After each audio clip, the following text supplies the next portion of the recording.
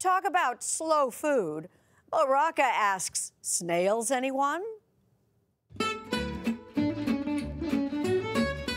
On the north shore of New York's Long Island, nestled between a vineyard growing grapes for Pinot Noir and a herd of French cows, is a very small farm.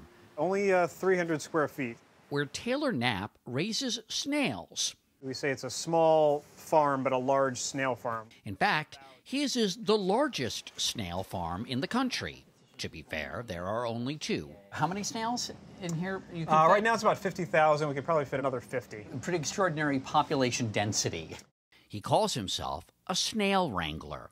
These snails, they're kind of hibernating. It's actually called estivating, when they kind of retract into their shells and they just kind of hang out on the walls like that. Look, that one's moving. So it's, it's, they do move. Yeah, they're hanging out. Were you a fan of snails growing up? I, I, think the business opportunity of raising something in this country that wasn't being raised at the time was appealing. I mean, the best restaurants in the country, there's snails on their menu. And until we came around, those snails were coming out of a can from Asia or Europe, which is just insane.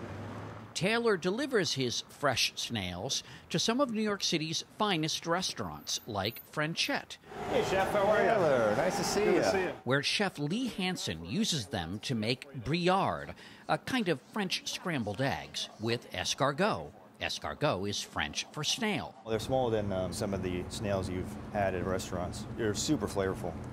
All those things that Taylor feeds them, you know, the herbs, the wild foraging stuff that he gets. So these are all wild greens that we've picked for them. This is burdock, some dandelion, mustard cress. Yes, these Long Island snails eat well.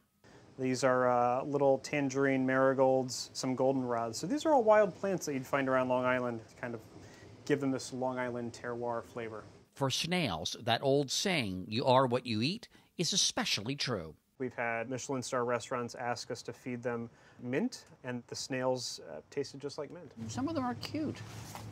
Yeah, they are. They're good-looking animals. We try to we try to avoid the word cute because they become dinner later. Can I hold one? Sure. Yeah. Just checking you out. Those little black dots on the top of their antennae are their eyes. And where are their ears? Uh, no ears. So this one can't hear me saying, how good looking it is. No, it can't say no. You have to express it in your face. And is this one a male or a female? They're both male and female. Actually, they're, they're hermaphrodites. So all of these snails have both male and female sex organs, and any two of them could mate. Yeah. And yes, a single snail, yeah, could, could also self-fertilize, go through the whole process and lay eggs all on its own. Yeah, there's no such thing as a lonely snail. That's right. Not no, not in this world.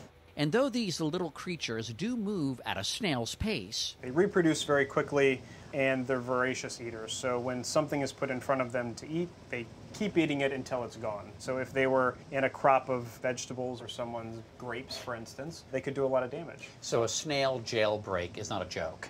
Not a joke. Right? It's a real thing. So we're overseen by a part of the USDA that makes sure that that doesn't happen. And we've developed a lot of containment protocols so that that doesn't happen.